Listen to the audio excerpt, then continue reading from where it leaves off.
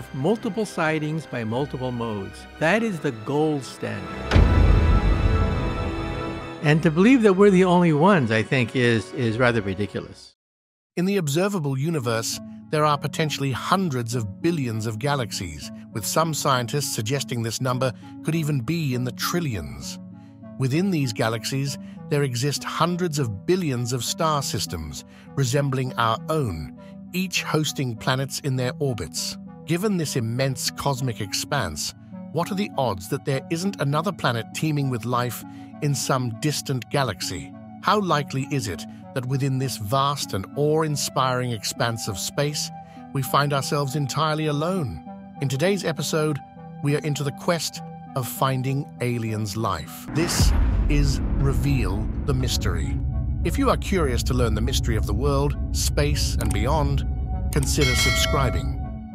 No matter how challenging it may seem for life to exist and how rare it could be, the vastness of the universe ensures that there should be millions, if not billions, of planets capable of supporting life. You can define various criteria for life, such as temperature, distance from a star, number of moons, presence of water, or the history of asteroid impacts, and purely by chance, numerous planets should meet these conditions.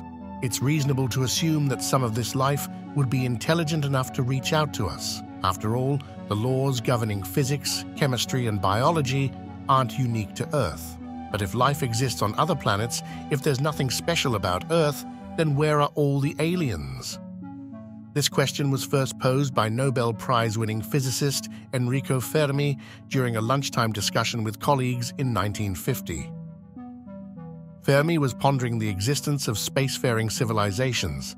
Consider that humans have only been around for a relatively short time, and during our brief existence on this planet, we've already contemplated expanding to Mars or other celestial bodies. It's reasonable to assume that another civilization might have had similar thoughts. If a civilization has been around long enough and has advanced technologically, it should attempt to explore other planets for resources or, at the very least, attempt communication.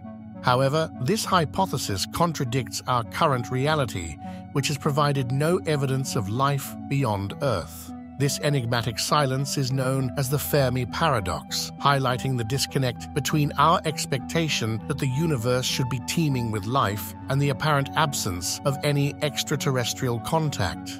Although we've long been captivated by the idea of aliens, we've only been actively searching for them for a relatively short period. The Search for Extraterrestrial Intelligence, SETI, is one of the most renowned organizations dedicated to this quest formally starting in the late 1950s.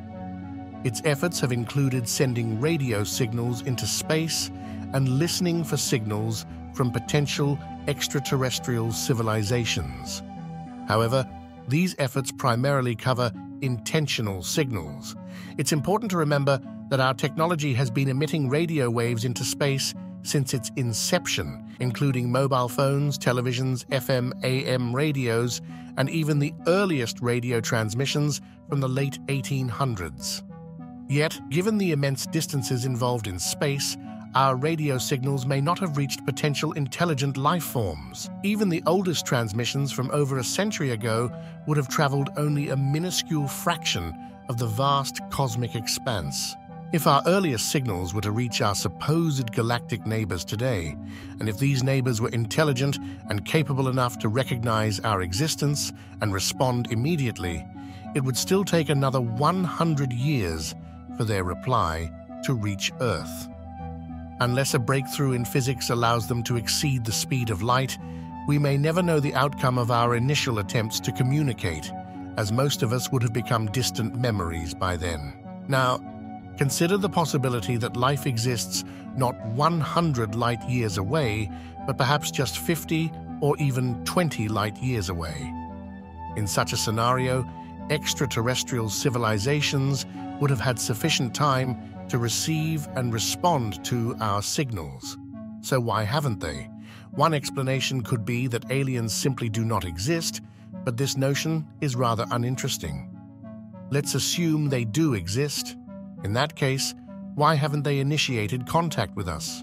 To address this question, we can categorize alien civilizations into three levels of advancement those less advanced than us, those equally advanced, and those more advanced. If they are less advanced than us, it's likely they lack the technology for communication. Furthermore, for two billion years after life began on Earth, it would have been undetectable to another civilization observing us as the signs they are looking for today may not have existed during that period. Alternatively, they might be equally advanced as we are, leading them to hesitate in contacting us out of uncertainty regarding what they might encounter. This notion aligns with Stephen Hawking's caution that contacting alien life could be perilous, as they may exploit Earth's resources, carry diseases we cannot combat, or harbor colonial intentions. The third possibility is that these aliens possess significantly superior intelligence and have lost interest in humanity.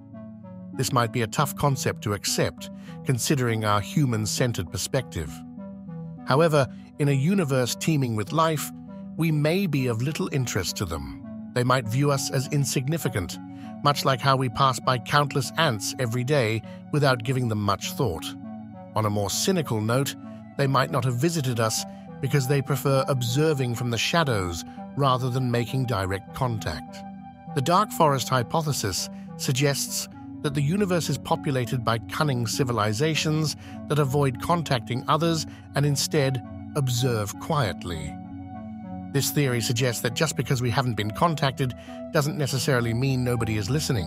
However, it's also possible that these aliens have visited us already David Grusch, a former intelligence officer, testified under oath in 2023 that a highly secretive UFO recovery program in the US government had retrieved non human biologics. While skepticism is essential and extraordinary claims require extraordinary evidence, the lack of evidence doesn't rule out the possibility of multiple alien spacecraft visiting Earth. If one has reached us, then many more might have as well. A government cover up can only be effective up to a certain point, especially when dealing with a civilization that is far more advanced than us. So, returning to our initial question, where are the aliens and why haven't we encountered them more frequently? One widely accepted theory is the Great Filter. This represents a hurdle in the development of a civilization, typically leading to its extinction. It could take various forms, such as asteroid impacts, massive volcanic eruptions, incurable viruses, runaway artificial intelligence, or self destruction. The idea is that most civilizations that go through this great filter do not survive. If this theory holds, it would explain the Great Silence, the apparent absence of advanced extraterrestrial civilizations in the universe. Our civilization might be one of the exceptions that have successfully passed this cosmic test. However, this perspective only makes sense if we assume that we have already navigated the Great Filter. What if it lies ahead of us rather than behind us? Asteroid impacts, nuclear annihilation, devastating viruses, and runaway artificial intelligence all remain potential threats that could wipe out humanity in the future. Therefore, the Great Filter might still be ahead of us, and our existence might be due to the fact that we have yet to encounter it. In essence, the Fermi paradox and the search for extraterrestrial life raise profound questions about our place in the universe and how special or insignificant we might be. Our human centered curiosity has driven us to seek answers, but it may come at a cost. As Stephen Hawking suggested, the pursuit of contact with extraterrestrial life could be a perilous endeavor. Perhaps the Great Filter isn't a catastrophe waiting to happen, but rather a challenge we actively seek. Our curiosity could be both a blessing and a curse as we explore the vast unknown of space. Ultimately, the mystery of where the aliens are and why they haven't made more overt contact continues to captivate our collective imagination. The answers may remain elusive, but our quest for understanding continues.